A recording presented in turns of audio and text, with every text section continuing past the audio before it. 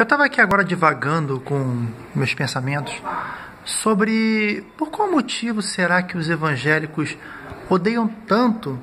Não estou dizendo que são todos, mas a grande maioria dos evangélicos que assistem meu canal odeiam tanto quando eu falo sobre alguns detalhes sobre a Bíblia. Nós vemos ali algumas situações na Bíblia que realmente são conflitantes e quando eu exponho a realidade que está exposta no livro de Urântia, alguns evangélicos vêm revoltados comigo.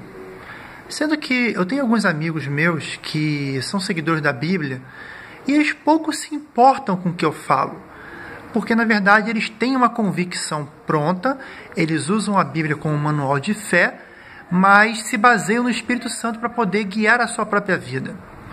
E as pessoas que realmente me atacam, me xingam, me cobram e falam que eu sou maluco, falam que eu sou herege e dentre outras coisas, que não me importa, né? Porque meu objetivo principal com o canal não é convencer ninguém, é simplesmente passar a informação do livro durante adiante para que o ajustador de cada pessoa faça o trabalho dele e ele convença a pessoa, convença, convença a pessoa, mas ainda assim essas pessoas continuam atacando. Porque essas pessoas, infelizmente, são pessoas que idolatram a Bíblia. E pessoas assim, elas simplesmente só querem defender o que elas têm como um sonho utópico. Elas têm uma realidade torta, uma realidade que já é dita e repassada há milhares de anos, e na verdade ela vê aquilo ali como uma base da vida, e sem aquilo ali ela não consegue viver. Ela não tem qualquer apoio espiritual, qualquer condição espiritual de simplesmente abrir mão daquilo e depender única e exclusivamente do Espírito Santo para sobreviver, para poder ter a sua base espiritual. O dia em que os evangélicos que seguem a Bíblia começarem a abrir mão da Bíblia e começarem a procurar o Espírito Santo que há dentro deles para obter respostas, nesse dia, essas pessoas que me atacam vão entender que eu estou do lado delas.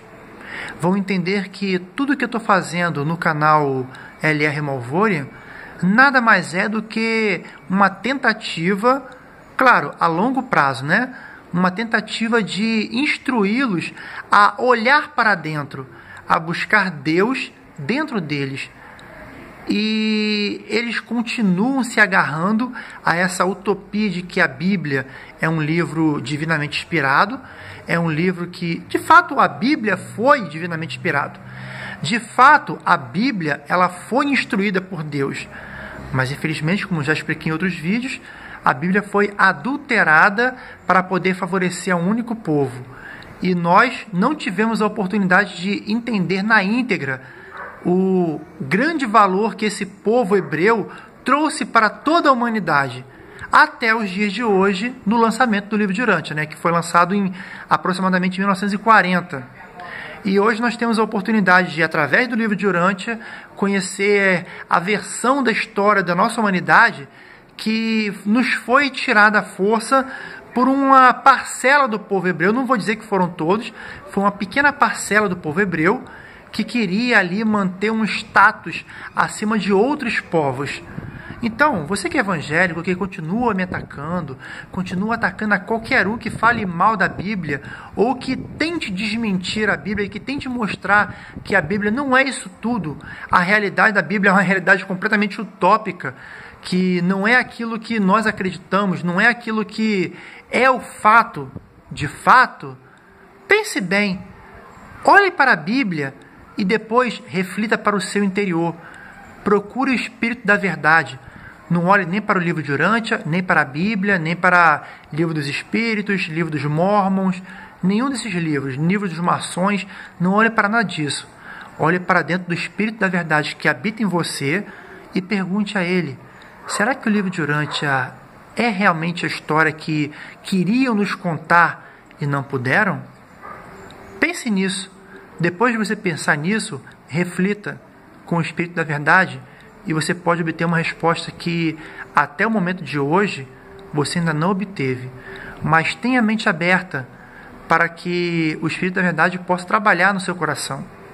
Não é o Malvorian que vai convencer você, não é o teu pastor que vai convencer você, não é a Bíblia que vai convencer você. Por mais que você esteja hoje baseado na Bíblia, por mais que você tenha hoje a Bíblia como seu manual de fé, incontestavelmente. Só que o dia que você abrir mão da Bíblia, abrir mão de qualquer livro humano e procurar Deus dentro de você, você vai encontrar a verdade. Ok, meu querido?